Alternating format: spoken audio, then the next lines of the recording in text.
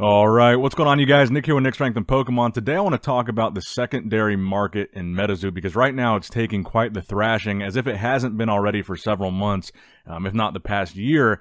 Right now, if you guys go to CardShopLive.com, it seems like they must have some kind of falling out with MetaZoo. I guess there was some issues with them in the past, but whatever it is, I think they're done with MetaZoo now because they are slashing and burning MetaZoo prices like I have never seen before. So, one good example of this is the MetaZoo First Edition Cryptid Nation release event box, which is on the Card Shop Live website right now for $19.99. Just one year ago, this was $100 a box. Now, obviously, the market has come down significantly in general since then, but that's an 80% drop for what Card Shop Live is selling it for. When I did a little bit of research on eBay, they're kind of going for like 35 to $50 prior to this.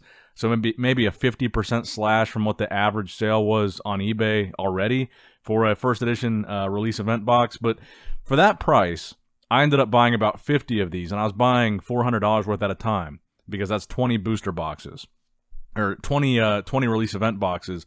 And at 399, $400, that's about the average price of a regular Cryptid Nation first edition booster box right now. You can get one for about $399. But each release event box has three packs. So 20 of those for 399 is 60 packs. So almost two booster boxes for the price of one.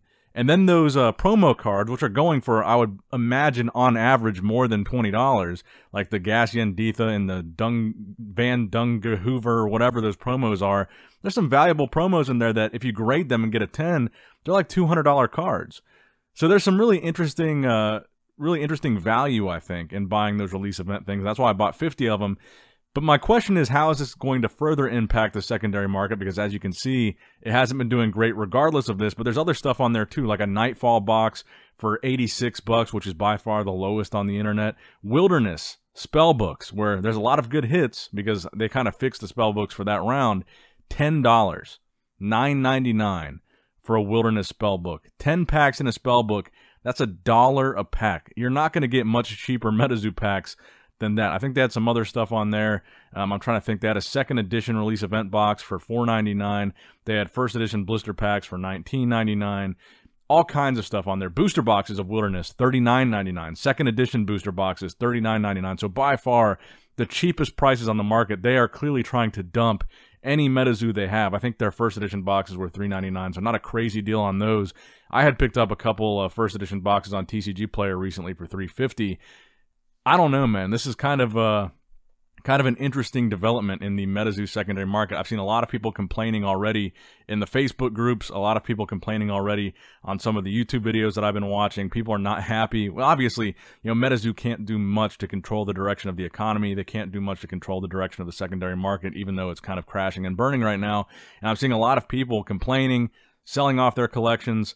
But I think right now is a great time to buy. I still believe that in the long run, MetaZoo's going to be around in the future. I think 10, 20 years from now, MetaZoo will still be a brand. I think MetaZoo will still have a good customer base 10, 20 years from now. I really believe that it's still going to be around, and I believe it's a good investment. And that's why I'm continuing to buy at these low prices. I think right now, $20 for three packs of Cryptid Nation and a release event box with a promo card is an unbeatable deal. Wilderness even for just the urge to scratch the itch of, of wilderness with the uh, lottery aspect of the gold, silver, and bronze tickets, the Green Man serialized card, if you just want to scratch that itch for a dollar a pack from the spell books, that's a great, you know, fun little gamble, a fun little opening for ten dollars to have a whole spell book to open. I think is really almost unbeatable. Or if you want to chase a Mothman in second edition, even though it's not super valuable, $39.99 to open 36 packs, and you got a chance at a blue ink. I mean, these are really, if you want to have fun opening cards, these are kind of unbeatable prices. And from an investment standpoint, if you believe in MetaZoo at all, this is really a great time to buy. This is significantly below MSRP all across the board.